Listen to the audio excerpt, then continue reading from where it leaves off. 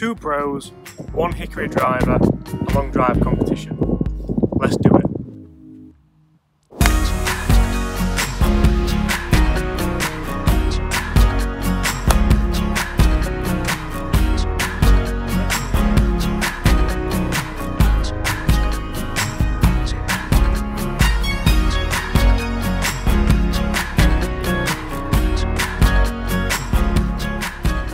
Hi everyone, James Robinson here. If you're new to the channel, make sure to subscribe. If you like course vlogs, if you like club reviews, if you like club comparisons, and if you like silly little tests with the Hickory driver. Two pros, myself and Chris Dennis, three holes, three shots each, modern day ball, here at the beautiful St Anne's Old Links Golf Club. Let's get out there and let's see how the Sweet Shot Special L copes on these burnt out fairways. Let's get straight to it. How are you going to hit that? Like a dream. This is going to be a really interesting one because Chris usually puts, what would you put on me Chris, usually 20 yard? 20 or 30. 20 yard, but I think I hit the middle of the club more often than Chris, so I think I'll be rewarded for that. He's laughing. How's it feel? Feels incredibly light and, and I'm really hopeful it doesn't break because I'm going to do a review on this soon comparing it with one of the new drivers. So, if you want to see some spin rates, smash factors, all of the above, make sure you subscribe, that is coming soon.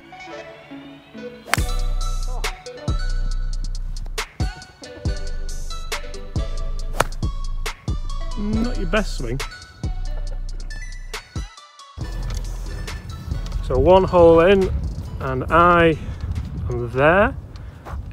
Blackpool Tower is there and Chris is there, which means Robinson goes one up. Get in.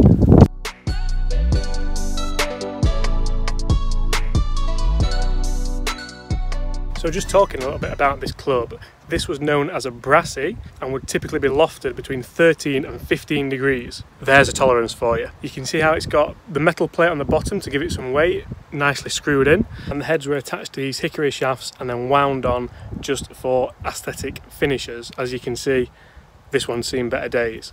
Let's talk about the grip, because it's hardly a Golf Pride, is it? Have a look at that. That is a leather bound beautiful grip and I'm hoping that during this long drive challenge we don't manage to break this because I'm hoping to get it on FlightScope in the coming weeks against a modern day driver. Subscribe if you want to see that. So that's one up. We are going on to the sixth tee. It must be said here you have a fantastic view of is that the big dip? Oh, that's not, that's my glove. Blackpool Tower and the big dip there. Wow.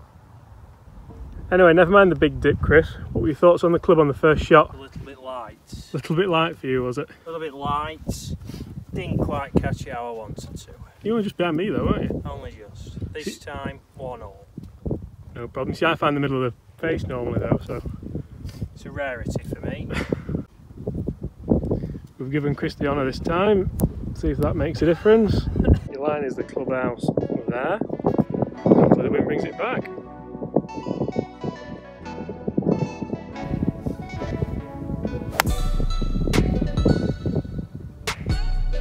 On left again, is that the next fairway? Might be long enough though, you know. We've got no rules on fairways.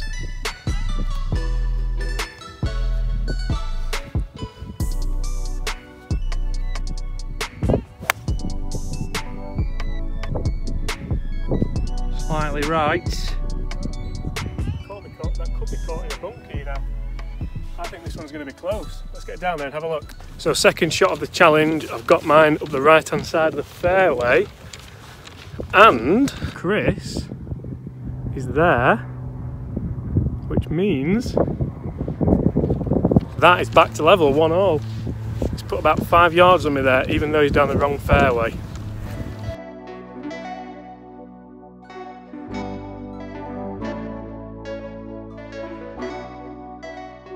How do you feel after doing me on that one, Chris? Oh, over the moon. Over the moon. That's one all. How do you think people used to cope if they swung it fast like you? Retired.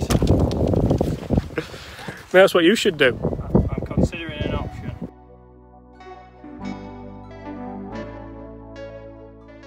So we are here on the eighth hole. It is one all, and this is the decider in the Hickory Long Drive Challenge between myself and Chris Dennis.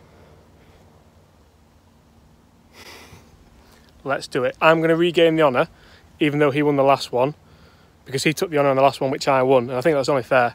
I'm going to open the shoulders up, and I'm going to win this one. Let's do it. I've done a few running repairs on the neck. It's looking better.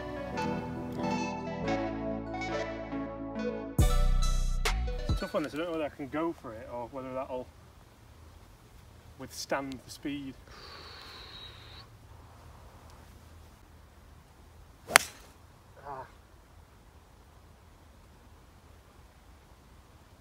It's over.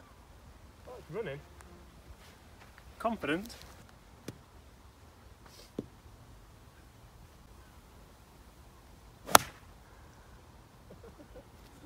Not your best swing again.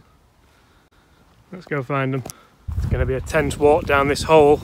Neither of us hit good ones there, but I think I've got him. Let's go take a look. One thing's for sure with this club, it's nowhere near, as you would imagine, as forgiving as modern day clubs. And here is the suspense builder for you. We have a winner, but James forgot to press the record button because I'm recording on the iPhone today. I don't know if you noticed if the quality was any different than my usual videos. Chris, who won? Unfortunately, not my side.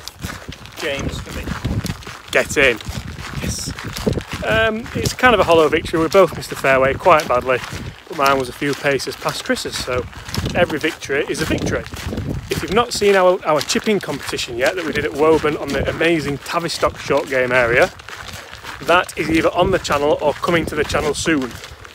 Let's see if Chris can get a bit of payback. Anyway, all that's left to say, thanks so much for watching. If you've enjoyed that video and you do like your historic clubs, hickory clubs, make sure you click that subscribe button. I'm going to put it on the FlightScope in the next few weeks against a modern day driver. And by the way, I have parred all three holes where I teed off with the Hickory Club. Get in. So thumbs up and make sure you subscribe. And I am now left with this on the ninth hole. See you soon.